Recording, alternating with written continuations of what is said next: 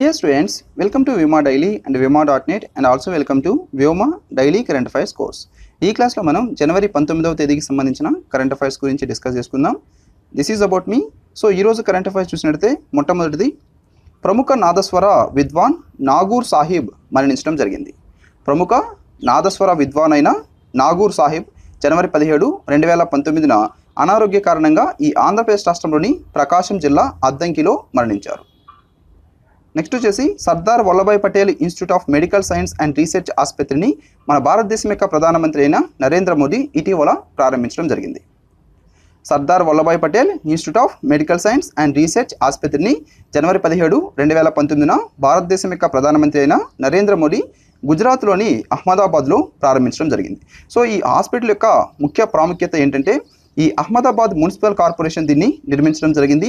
ఈ ఆసుపత్రి మన భారతదేశంలో మొట్టమొదటి పూర్తిగా పేపర్లెస్ హాస్పిటల్. అంటే పేపర్ రహిత హాస్పిటల్ దీంట్లో పేపర్స్ అనేది యూజ్ చేయడం జరగదు. సో మొత్తం డిజిటల్. ఈ హాస్పిటల్ మొత్తం కూడా డిజిటల్గా ప్రారంభించడం జరిగింది.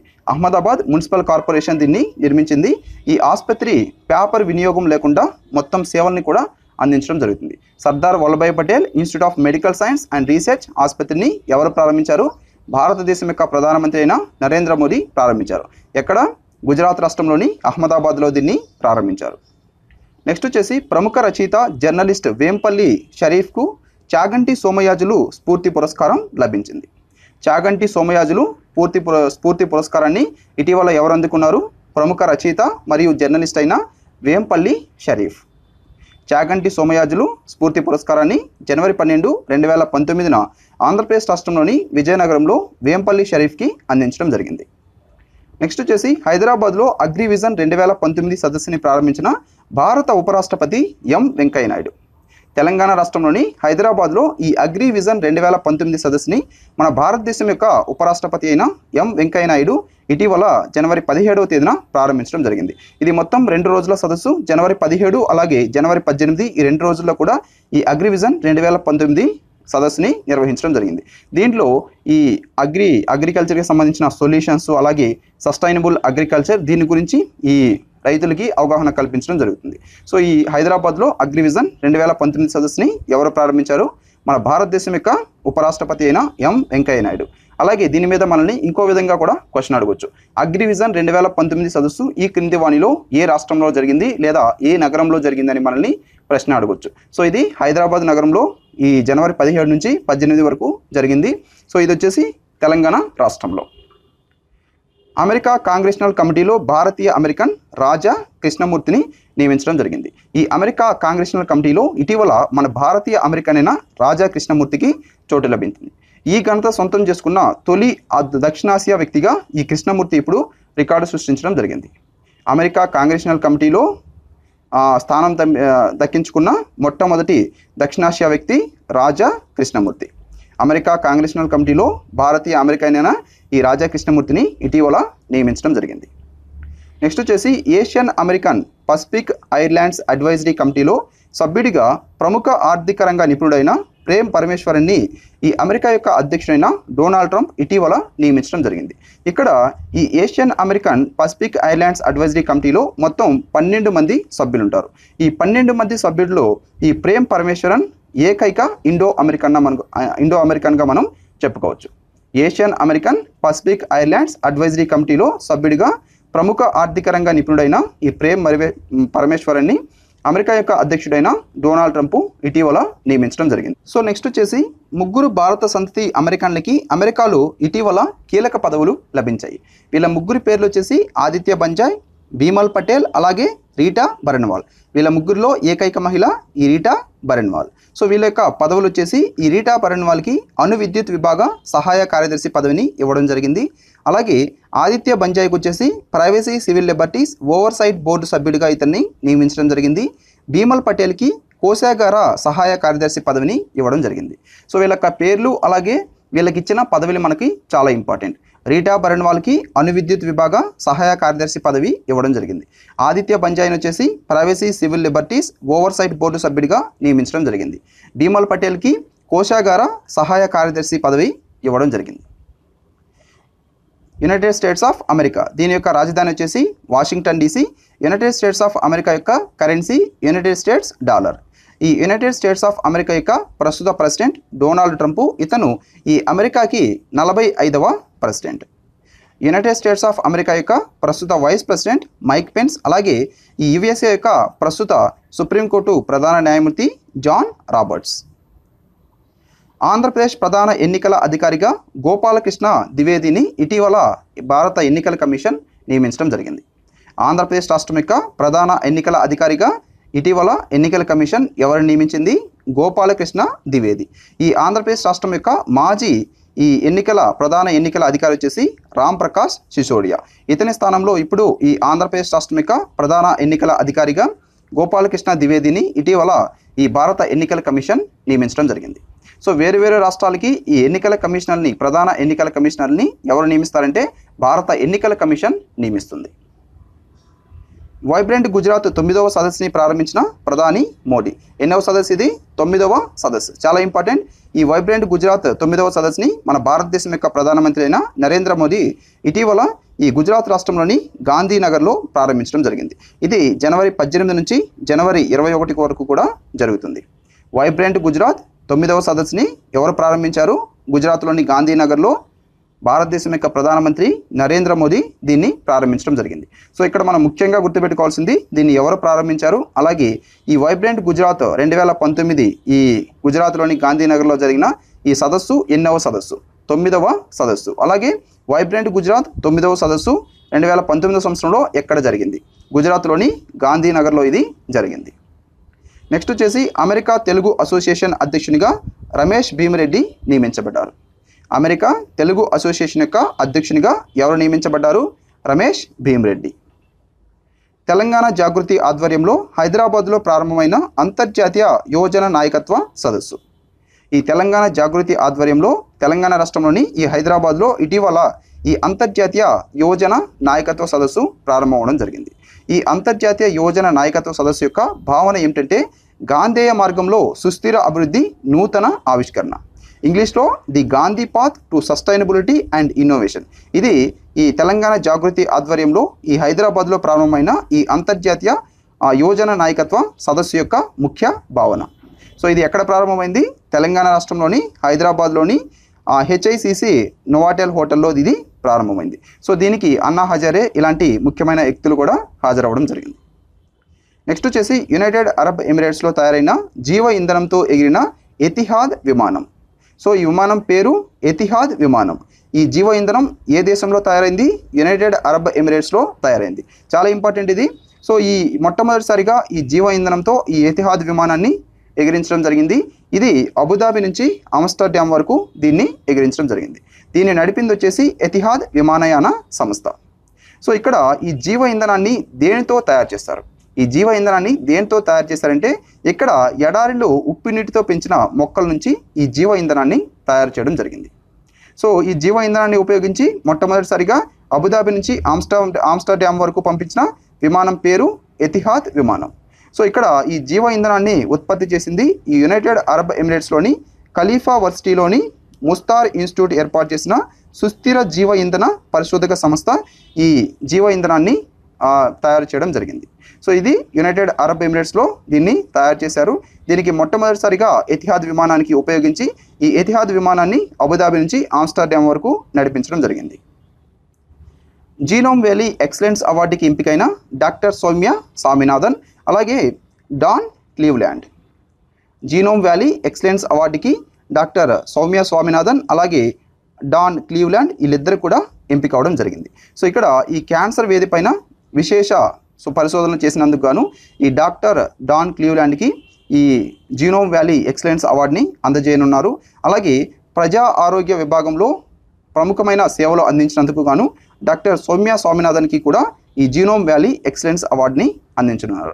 సో ఈ అవార్డులని వీళ్ళకి వచ్చేసి ఈ బయో ఏషియా రెండు వేల పంతొమ్మిది సదస్సుని పురస్కరించుకొని ఈ అవార్డులని ఈ బయో ఏషియా నిర్వాహకులు ఇటీవల ప్రకటించడం జరిగింది. సో వీళ్ళకి ఈ బయో ఏషియా రెండు వేల పంతొమ్మిది సదస్సులో ఈ అవార్డులని అందిస్తారు.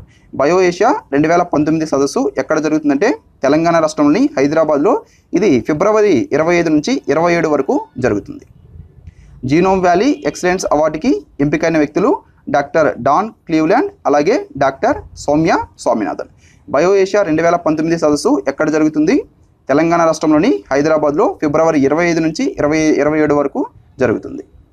నెక్స్ట్ వచ్చేసి ప్రముఖ సాహితీవేత్త అంపశయ్య నవీన్కు లోక్ నాయక్ ఫౌండేషన్ పురస్కారం లభించింది. ప్రముఖ సాహితీవేత్త అయిన అంపశయ్య నవీన్కి లోక్ నాయక్ ఫౌండేషన్ పురస్కారం లభించింది. సో దీన్ని ఈ లోక్ నాయక్ ఫౌండేషన్ యొక్క అధ్యక్షుడైన యార్లగడ్డ లక్ష్మీప్రసాద్ ఇటీవల ప్రకటించ ప్రకటించడం జరిగింది. అలాగే ఎన్. మంగాదేవికి దివ్యాంగుల కోసం కృషి చేస్తున్న వంశీ రామరాజులకి వీళ్ళిద్దరికీ కూడా ఈ జీవన సాఫల్య పురస్కారాల్ని ఈ లోక్ నాయక్ ఫౌండేషన్ అధ్యక్షుడైన యార్లగడ్డ లక్ష్మీప్రసాద్ ఇటీవల ప్రకటించడం జరిగింది. సిపిఎం నేత ఉద్యమకారుడు తెలకపల్లి నరసింహయ్య మరణించడం జరిగింది. సిపిఎం నేత అలాగే ప్రముఖ ఉద్యమకారుడైన తెలకపల్లి నరసింహయ్య ఇటీవల మరణించారు. కర్ణాటక హైకోర్టు తాత్కాలిక ప్రధాన న్యాయమూర్తిగా జస్టిస్ లింగప్ప నారాయణ స్వామిని నియమించడం జరిగింది. సో ఇటీవల మనం చూసినట్లయితే ఈ కర్ణాటక హైకోర్టు యొక్క ప్రధాన న్యాయమూర్తిని ఈ సుప్రీంకోర్టు న్యాయమూర్తిగా బదిలీ చేయడం జరిగింది. కాబట్టి ఈ కర్ణాటక హైకోర్టు యొక్క తాత్కాలిక ప్రధాన న్యాయమూర్తిగా ఇప్పుడు ఈ జస్టిస్ లింగప్ప నారాయణ స్వామిని ఇటీవల నియమించడం జరిగింది. జాతీయ మానవ హక్కుల కమిషన్ డైరెక్టర్ జనరల్గా ప్రభాత్ సింగ్ని నియమించారు. జాతీయ మానవ హక్కుల కమిషన్ డైరెక్టర్ జనరల్గా ఎవరిని నియమించారు? ఇటీవల ప్రభాత్ సింగ్ని నియమించారు. ఈ జాతీయ మానవ హక్కుల కమిషన్ని పంతొమ్మిది వందల తొంభై మూడు అక్టోబర్ పన్నెండవ తేదీన స్థాపించడం జరిగింది. జాతీయ మానవ హక్కుల కమిషన్ యొక్క ప్రధాన కార్యాలయం ఎక్కడుంది? న్యూఢిల్లీలో ఉంది. ఈ జాతీయ మానవ హక్కుల కమిషన్ యొక్క ప్రస్తుత చైర్మన్ హెచ్ఎల్ దత్తు. జాతీయ మానవ హక్కుల కమిషన్ యొక్క ప్రధాన కార్యాలయం ఎక్కడుంది? న్యూఢిల్లీలో ఉంది. జాతీయ మానవ హక్కుల కమిషన్ యొక్క ప్రస్తుత చైర్మన్ ఎవరు? హెచ్ఎల్ దత్తు. అగ్రవర్ణ పేదలకు విద్యా ఉద్యోగ రంగాల్లో పది శాతం రిజర్వేషన్ కల్పించేందుకు ఆమోదించిన ఉత్తరప్రదేశ్ రాష్ట్రం. సో ఇక్కడ మనం చూసినట్లయితే మన భారతదేశంలో ఉన్న ఈ అగ్రవర్ణ పేదలకి విద్యా ఉద్యోగ రంగాల్లో పది శాతం రిజర్వేషన్లు కల్పించాలని చెప్పేసి ఈ కేంద్రం తీసుకొచ్చిన నూట మూడవ రాజ్యాంగ సవరణ ఏదైతే ఉందో సో ఇది ఈ సవరణ పూర్తవ్వాలంటే మన భారతదేశంలో మోర్ దెన్ హాఫ్ స్టేట్స్ దీన్ని ఆమోదించాలి. సో దీనిలో భాగంగా ఇప్పటికే ఈ అగ్రవర్ణ పేదలకి విద్యా ఉద్యోగ రంగాల్లో పది శాతం రిజర్వేషన్ కల్పించడానికి ఆమోదించిన మొట్టమొదటి రాష్ట్రం గుజరాత్. సో ఆ తర్వాత రెండవ రాష్ట్రం వచ్చేసి జార్ఖండ్. సో దీన్ని ఇటీవల ఉత్తరప్రదేశ్ రాష్ట్రం కూడా ఆమోదించడం జరిగింది. సో దీంతో ఈ అగ్రవర్ణ పేదలకి విద్యా ఉద్యోగ రంగాల్లో పది శాతం రిజర్వేషన్ కల్పించేందుకు ఆమోదించిన మూడవ రాష్ట్రం మన భారతదేశంలో ఉత్తరప్రదేశ్ రాష్ట్రం. బీఈఎస్ ఎక్స్పో రెండు వేల పంతొమ్మిది న్యూఢిల్లీలో ప్రారంభమైంది. ఈ బీఈఎస్ ఎక్స్పో రెండు వేల పంతొమ్మిది జనవరి పదిహేడు నుంచి పంతొమ్మిది వరకు కూడా ఈ న్యూఢిల్లీలో జరిగింది.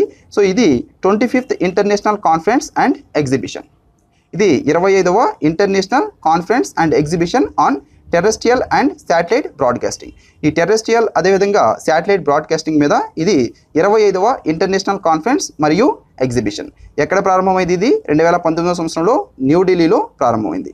దీని యొక్క థీమ్ వచ్చేసి next generation broadcasting in the IT world BES expo రెండు వేల పంతొమ్మిది ఎక్కడ ప్రారంభమైంది?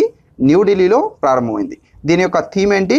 Next generation broadcasting in the IT world India rubber expo రెండు వేల పంతొమ్మిది పదవ ఎడిషన్ను ప్రారంభించిన కేంద్ర మంత్రి సురేష్ ప్రభు.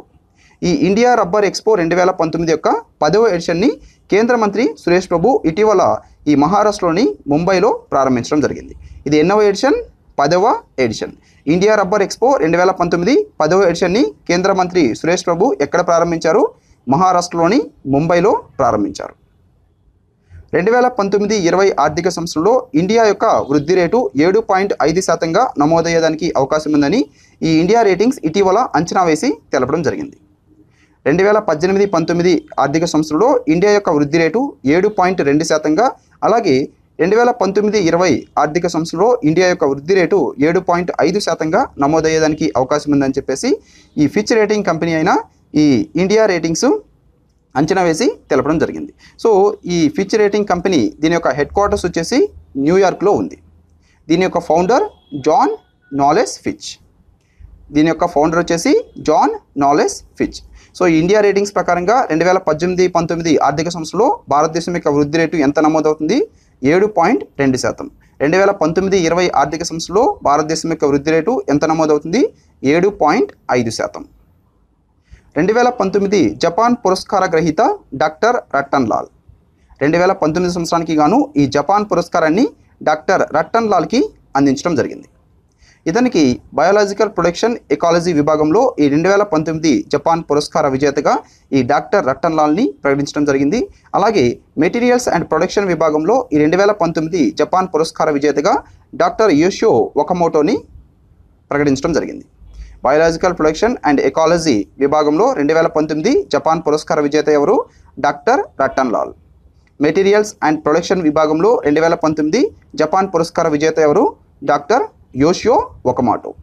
వీళ్ళిద్దరికీ కూడా యాభై మిలియన్ జపనీస్ ఏను నగదు బహుమతి అందించడం జరుగుతుంది. ప్రతి ఒక్కరికి ఈ పురస్కారం అందుకున్నందుకు గాను వీళ్ళకి ఒక్కొక్కరికి యాభై మిలియన్ జపనీస్ ఏను నగదు బహుమతి అందిస్తారు. ఈ జపాన్ యొక్క క్యాపిటల్ ఏంటి? టోక్యో. జపాన్ యొక్క కరెన్సీ జపనీస్ ఏన్ జపాన్ యొక్క ప్రస్తుత ప్రైమ్ మినిస్టర్ ఎవరు? Shinzo Abe. Jio Reliance Retail కలిసి సరికొత్త ఈ కామర్స్ ప్లాట్ఫామ్ని ప్రారంభించనున్నాయి. సో ఇక్కడ ఈ జియో అలాగే రిలయన్స్ రిటైల్ ఈ రెండు కలిసి మన భారతదేశంలో కొత్త ఈ కామర్స్ ప్లాట్ఫామ్ని ప్రారంభించాలని చెప్పేసి ఇటీవల నిర్ణయించుకోవడం జరిగింది. సో ఈ e commerce platforms Flipkart Amazon ఇలాగా ఈ జియో రిలయన్స్ రిటైల్ ఈ రెండు కూడా కలిసి ఇంకొక ఈ కామర్స్ ప్లాట్ఫామ్ని ప్రారంభించాలని చెప్పేసి నిర్ణయించుకోవడం జరిగింది. సో దీన్ని మొట్టమొదటిసారిగా గుజరాత్ రాష్ట్రంలో ప్రారంభిస్తున్నట్టుగా ఈ రిలయన్స్ ఇండస్ట్రీస్ యొక్క అధినేత అయిన ముఖేష్ అంబానీ ఇటీవల ప్రకటించడం జరిగింది. సో ఇవి ఈరోజు కరెంట్ అఫైర్స్. తప్పకుండా ఈ వీడియో మీకు నచ్చినట్టయితే లైక్ చేయండి. అలాగే ఈ వీడియో మీద మీ అభిప్రాయాన్ని తప్పకుండా ఈ వీడియో కింద కమెంట్ సెక్షన్లో మీరు తెలపచ్చు. అలాగే ఈ వీడియోని మీరు చూసిన తర్వాత మీ ఫ్రెండ్స్కి మన తెలుగు ఆస్పిరెంట్స్కి ప్రతి ఒక్కరికి చేరే విధంగా మీ సోషల్ మీడియా సైట్స్లో ఫేస్బుక్లో కానీ వాట్సాప్లో కానీ లేదా ఇతర సోషల్ మీడియా సైట్స్లో కానీ తప్పకుండా షేర్ చేయండి. అలాగే ఈ కరెంట్ అఫైర్స్కి సంబంధించిన పీడిఎఫ్ నోట్స్ కూడా మీకు ఈ మేము ప్రొవైడ్ చేయడం జరుగుతుంది. సో దానికి సంబంధించిన లింక్ కూడా ఈ వీడియో కింద డిస్క్రిప్షన్లో మేము ప్రొవైడ్ చేస్తున్నాం. సో ఆ లింక్ క్లిక్ చేసి ఈ పీడిఎఫ్ నోట్స్ కూడా మీరు ఫ్రీగా డౌన్లోడ్ చేసుకొని చదువుకోవచ్చు. Thank you friends.